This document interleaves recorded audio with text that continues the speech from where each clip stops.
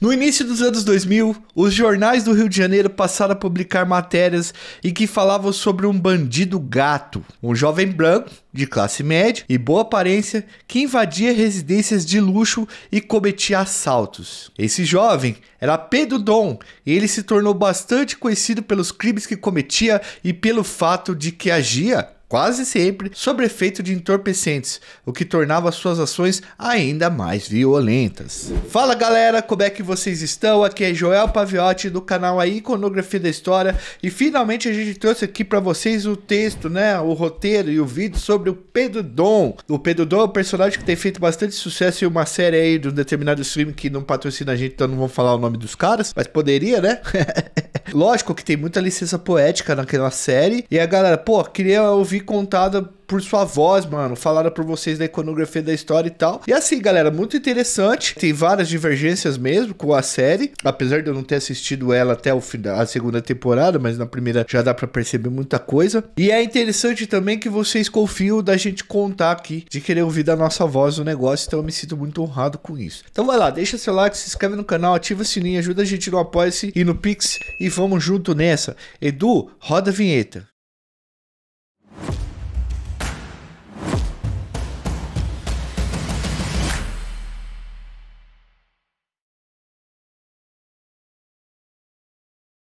Pessoal, em 2021, uma, um stream aí que não patrocina a gente lançou a série Dom, criada por Breno Silveira, e ela foi inspirada na história de Pedro Machado Lomba Neto, conhecido como Pedro Dom. Na época, galera, do lançamento, que foi lançado, é, houve uma polêmica com a família, pois a mãe de Pedro Dom, Lídia Sarmento, e sua irmã Érica Grandinetti vieram a público dizer que não concordavam com a série e que ela alterava a verdadeira história. Chegou até a ocorrer uma tentativa na justiça para que a série fosse tirada do ar. A gente não vai se posicionar aqui sobre essa polêmica. O que a gente vai contar aqui é a história do Pedro Dom a partir daquilo que foi publicado em jornais e revista e que nos permite entender um pouco quem ele era. Assim, do jeito que nós fazemos com todo mundo que a gente fala aqui ou com todos os assuntos que a gente trabalha. A ideia aqui não é fazer um, é, sei lá, difamação ou mexer com reputações. A ideia aqui é fazer uma pesquisa de tudo que já tem publicado e verificar mercado, cruzando essas fontes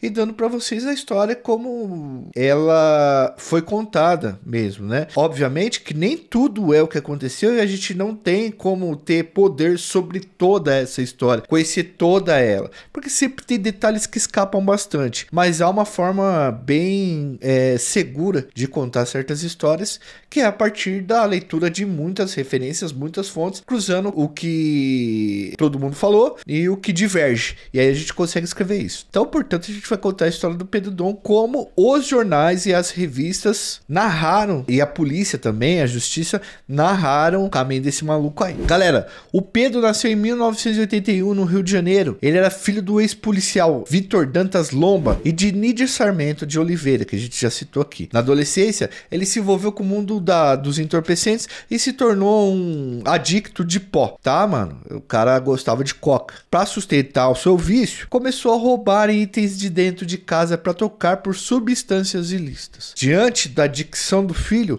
os pais de Pedro tentaram interná-lo, mas isso não impediu que ele seguisse pelo caminho da adicção e acabasse entrando para o mundo do crime. Pedro Dom se tornou conhecido como o bandido gato e passou a entrar em residências de luxo para fazer ação. Bandido Gato, mano, é uma espécie de glamour que a mídia fazia antigamente com certos bandidos da classe média, que eram brancos, muitas vezes loiros, cabelo liso, que é dentro daquele padrão estético que é considerado o padrão de beleza europeu, né, mano? Então, a galera metia essas aí e realmente vendia bastante revista e jornal. Bom, o pai do Pedro era um ex-policial e segundo reportagens que temos, ele usou várias vezes o seu conhecimento no meio policial para livrar o filho de prisão prisão. De acordo com a matéria publicada pela revista Veja, nos anos de 1970, Vitor Dantalomba, o pai do Pedro, passou a integrar um esquadrão da morte que se formou dentro da polícia carioca. A gente já fez vários vídeos falando desses esquadrões, principalmente do principal dele, mais conhecido dele, que é a escuderia Lecoq, vou deixar no card aí para vocês verem. E o pai dele fez parte do grupo que ficou conhecido como 12 Homens de Ouro da Polícia Carioca e tinha o objetivo na cabeça do dos caras de limpar o Rio de Janeiro da criminalidade. Esse grupo surgiu a partir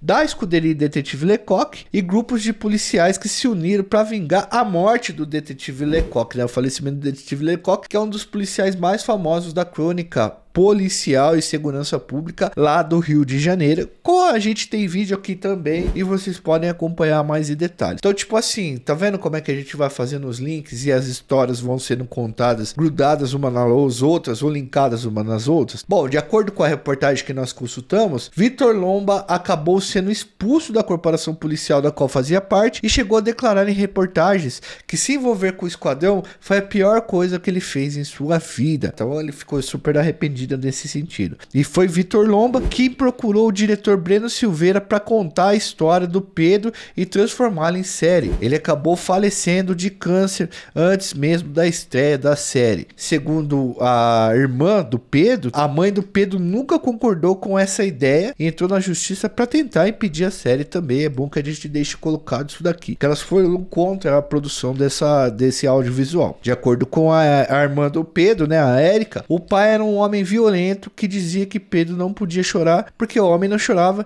e quem realmente lutava para tirar o filho do mundo da dicção de pó era a mãe. Pedro Dom foi internado 15 vezes e a sua mãe chegou a vender um apartamento para pagar o seu tratamento em uma clínica de reabilitação, mas ele sempre voltava para a adicção em pó, ele sempre voltava para farinha. Em 2001, ele foi preso por porte ilegal de armas, mas acabou sendo diagnosticado como dependente químico e a sua mãe conseguiu fazer com que ele fosse encaminhado, na verdade, para um hospital penitenciário e não para cadeia comum. Ali, Pedro Dom conheceu traficantes e outros criminosos e após a sua liberação formou com esses caras aí, alguns caras que ele tinha conhecido lá, uma quadrilha especializada em roubos de casas e apartamentos de luxo no Rio de Janeiro. A aparência do Pedro, pessoal, como era uma aparência desses rapazes playboys aí que moram em áreas mais ricas, facilitava essa aparência dele facilitava a circulação dele por esses bairros de luxo. E foi por isso que ele ganhou a alcunha de bandido gato ou bandido da classe média. Além disso, ele chegava aos locais dos roubos dirigindo carros de luxo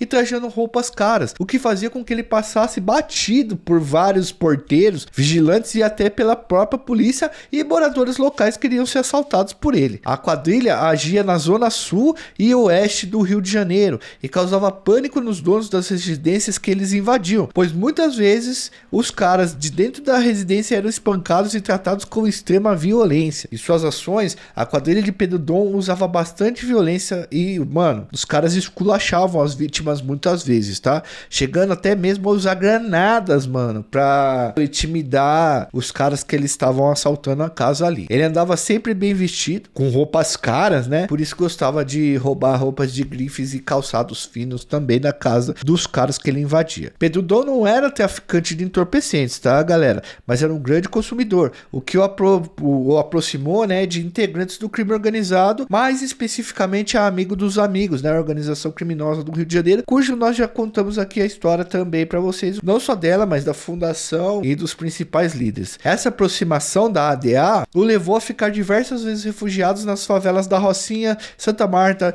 e do Complexo da Maré, tá? A gente até conta num vídeo que o Ben TV, que foi um comerciante de entorpecentes lá da Rocinha muito famoso, que reunificou a Rocinha, né, parte baixa e parte alta. Ele recebeu o Pedro Dom várias vezes lá na Rocinha o Pedro Dom acabou ficando escondido ali por vários dias. Ali dentro das, das favelas, intocados, ele trocava os frutos de roubo por proteção e entorpecentes. Mas segundo a polícia, galera, ele estava se tornando uma espécie de soldado do tráfico, porque às vezes ele ajudava os traficantes em alguma coisa que os caras tinham que fazer, retomar um lugar ou dar uma prensa em alguém, tá? Diz que ele até pegava em fuzis lá na Vila Pinheiros e na Rocinha, estabelecendo re relações com o Ben TV, por exemplo, que a gente citou para vocês agora há pouco. Bom, galera, o Pedro Dom tinha um parceiro que chamava Maurício Chaves da Silveira, conhecido como Mauricinho Botafogo, preso durante a Operação Gente Fina, montada pela polícia para desmanchar as quadrilhas de jovens de classe média. Eu acho muito louco esses nomes que a Polícia Civil, a Polícia Federal dão para certas operações, que Operação Gente Fina é isso mesmo. E olha o nome do cara. Ô, mano, Botafogo é um bairro da Zona Sul muito famoso, de classe média, classe média alta. E aí o nome do cara é Mauricinho Botafogo. Vai, ver nas fitas. E a, e a polícia deu esse nome, né? Operação Gente Fina. A vida de Pedro Dom, pessoal, chegou ao fim em 2005, quando ele foi baleado em um confronto com policiais. O Pedro Dom deu muito trabalho e assalto lá no Rio de Janeiro, tá, galera? A verdade é essa daí já era. Eram 4 horas da manhã e ele tinha conseguido escapar de um cerco policial montado para prender ele na saída do túnel Rebouças, que ele era um cara bastante ousado e corajoso para fugir. Através de escutas telefônicas, a polícia tinha informação de que ele passaria por lá e montou um cerco com pelo menos 15 policiais. A força policial ficou durante seis meses rastreando as ligações telefônicas de Pedro Dom e sabia que ele não se entregaria, pois ele dizia nessas conversas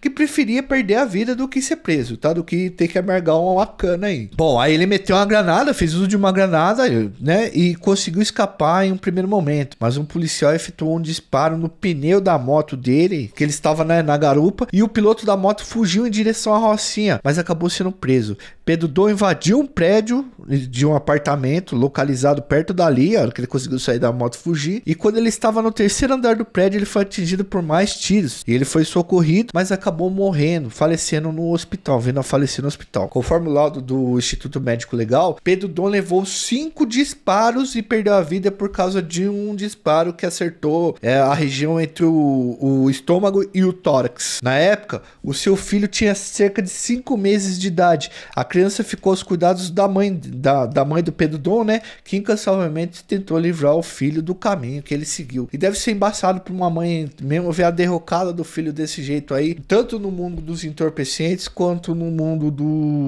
do crime, né, mano? É, é muito embaçado essa fita, deve ser muito complicado para a mulher conviver com essa situação aí. Bom, galera, essa foi a verdadeira história que a gente conseguiu aí pesquisar sobre o Pedro Dom. Aí vocês observem aí quais são as principais diferenças e divergências do audiovisual que foi produzido sobre ele e do vídeo que nós fizemos aqui, mas garantimos que a Adriana, que fez o nosso roteiro aí, pesquisou bastante para fazer isso daí. Ele passou por várias mãos, como sempre a gente faz esse trabalho. E esse trabalho só é possível por conta do nosso apoio-se, do Pix e do like de vocês. Então, se possível, entre no nosso grupo de apoio-se. A partir de 50 reais vocês participam de um grupo de estudos com a gente, que a gente faz um roteiro coletivo lá. A gente fez um esses dias atrás sobre manicômio judicial, foi muito, bem legal é, a experiência de fazer isso com eles, várias pessoas interessantes lá no nosso grupo. Mas a partir de dois reais vocês já têm recompensa aí, já podem nos ajudar bastante. Assim como no Pix, vocês podem deixar qualquer valor aí, né? Um valeu, fala, pô, achei muito legal esse vídeo, foi um bagulho que tirou um pouco da minha ignorância, que me trouxe várias curiosidades, então vou ajudar os caras financeiramente pra gente poder manter toda essa estrutura.